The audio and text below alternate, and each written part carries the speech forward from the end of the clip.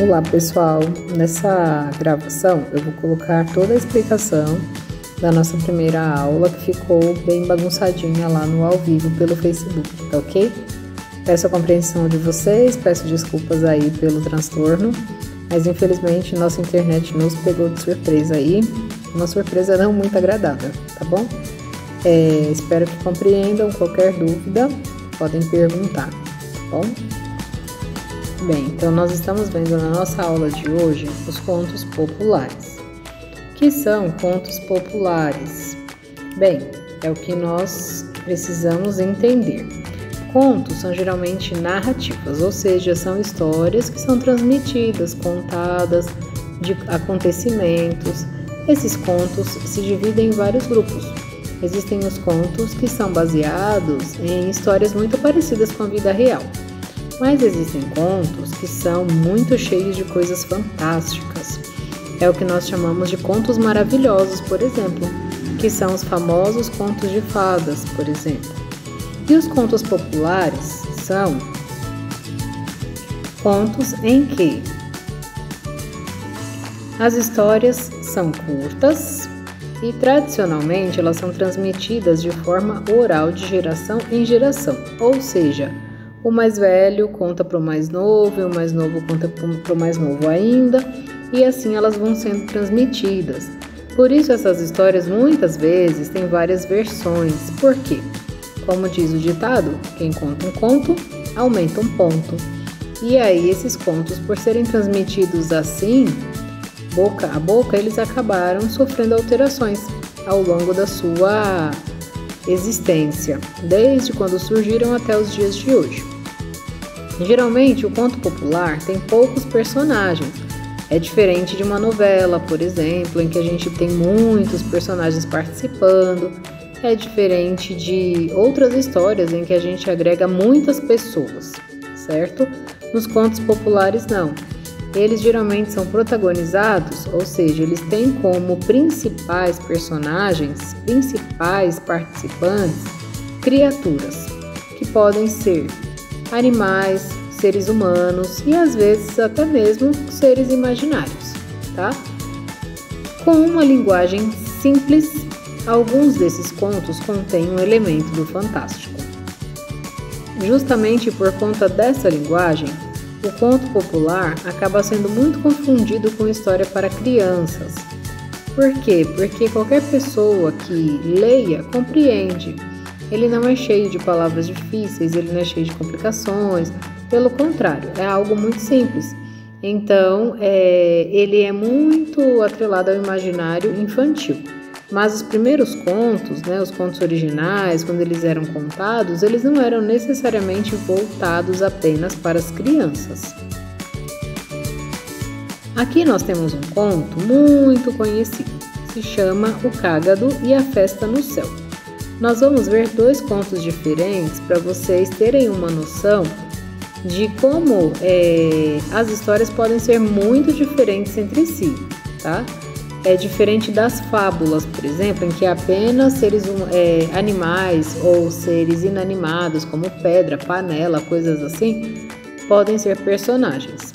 Nos contos, não. Nos contos a gente tanto pode ter animais, objetos, como pode ter pessoas.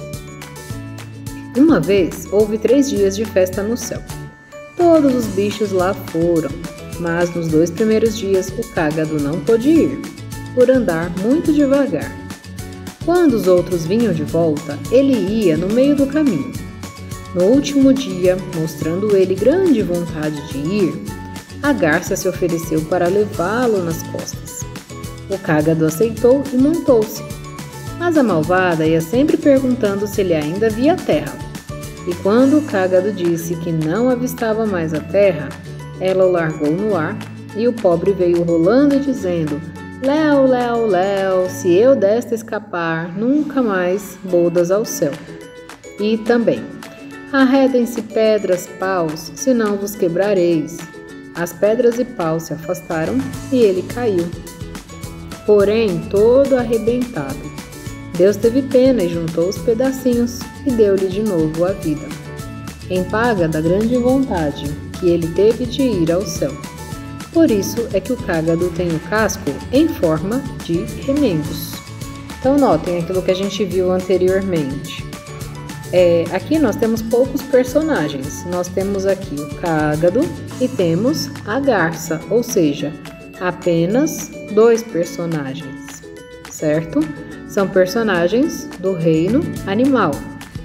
A linguagem dessa história é bem simples. Ela não tem nada de difícil aqui de compreender, certo? Mas ela tem algo que se refere a um elemento fantástico.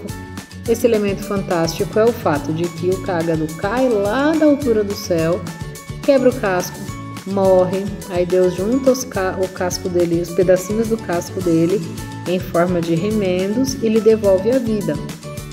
Então aqui nós temos é, como característica do conto popular todas essas, é, todos esses pontos que nós vimos anteriormente. Então, o conto popular, O Cágado e a Festa no Céu, é da região de Sergipe e conta com um único personagem principal, o Cágado, ou seja, personagem principal é o mesmo que protagonista, tá? Nesse caso, a história procura explicar para o leitor uma característica presente no mundo real. Qual é essa característica? O fato do cágado ter o casco em formato de gomos. Assim como grande parte dos contos populares, não se sabe bem quem é o autor da história. Isso é muito importante, pessoal. Geralmente nós não sabemos quem é o criador de um desses contos, quem foi que gerou essa história, muito difícil de achar, tá? É, por quê? Porque ela é transmitida de forma oral, sendo passada às vezes a gerações muito distantes.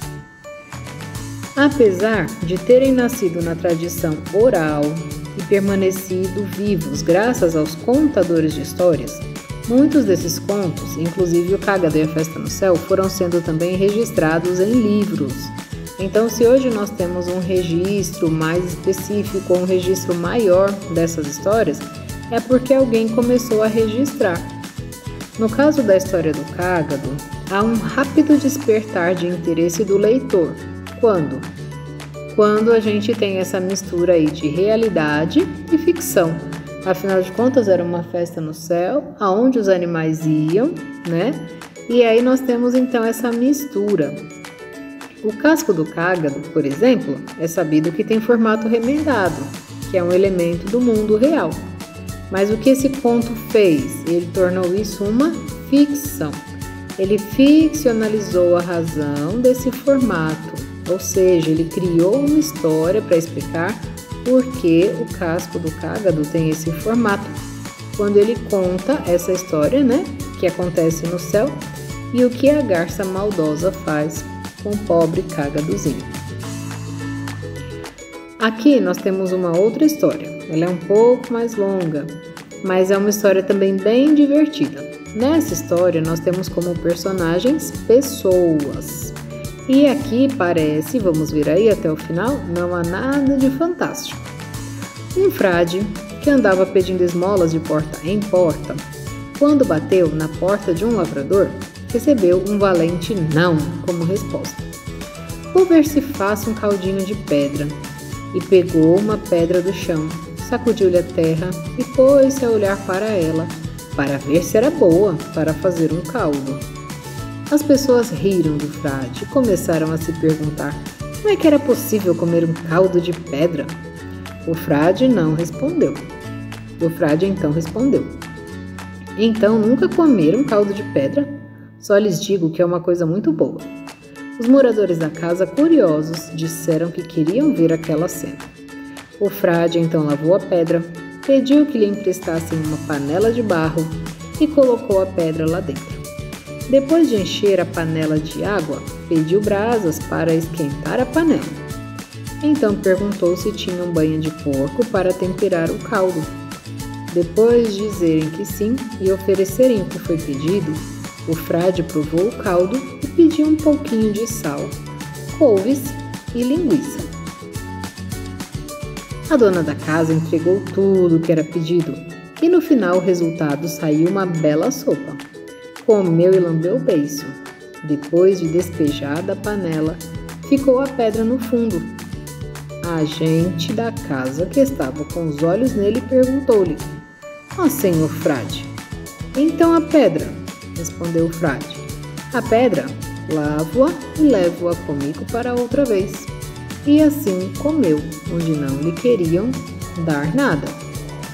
Esse conto também ele teve uma adaptação que é chamado de A Velha Avarenta. E nesse conto é, não temos aí como personagem principal o frade e sim o Pedro Malazarte, tá? Então aqui, ó, esse conto que nós vimos, ele tem como personagens quem? O frade, a casa, né, as pessoas da casa em que ele foi pedir comida e onde o lavrador disse-lhe um não. Então nós temos o frade, o lavrador e as outras pessoas que moravam na sua casa. Por que nós os chamamos de personagens? Porque são aqueles que participam da história, tá? Então, quem é o personagem principal? O frade. Então, nós chamamos o frade de protagonista, tá bom? Onde é que se desperta aqui a curiosidade pelo restante da história? Quando o frade diz que vai fazer um caldinho de pedra. Daí em diante, a gente começa a ficar curioso para saber o que vai acontecer, certo? Então, nós temos aí um problema nessa história que a gente quer saber como vai se resolver. Esse problema é o que gera curiosidade. E essa curiosidade se resolve lá no final, quando o frade mostra que ele na verdade só fez uma trapaça, tá certo? Esse conto popular é português. Ele tem um único personagem o personagem principal, no caso, o frade, que andava pedindo esmolas de porta em porta. O frade do conto popular português conseguiu, graças à sua esperteza, contornar o não que os moradores da casa haviam lhe dado a princípio. Ele primeiro tentou pedir comida da forma tradicional, mas como não funcionou, o que ele fez? teve que usar o seu instinto, seu instinto de sobrevivência para conseguir aquilo que queria de uma forma inesperada. O conto nos ensina de forma implícita, ou seja, de uma maneira escondidinha ali, que não devemos aceitar o simples não como resposta e precisamos encontrar soluções alternativas para resolver os problemas importantes que temos. Essa aqui é a opinião do autor do texto mas não necessariamente a lição desse conto pode ser exatamente essa. Podemos tirar outras lições desse conto também, né? Então, essa parte da lição fica a, é, sob a responsabilidade do leitor, tá ok? Então, aqui nós tivemos dois exemplos de textos narrativos de contos populares. Na próxima aula, nós seguimos ainda com esse conteúdo onde nós vamos ver as características disso tudo que nós vimos em um outro conto em forma de exercício. Está bem? Aqui estão as referências bibliográficas, né? São é, lugares de onde os textos foram tirados. E na próxima aula seguimos aqui. Fiquem com Deus e se cuidem.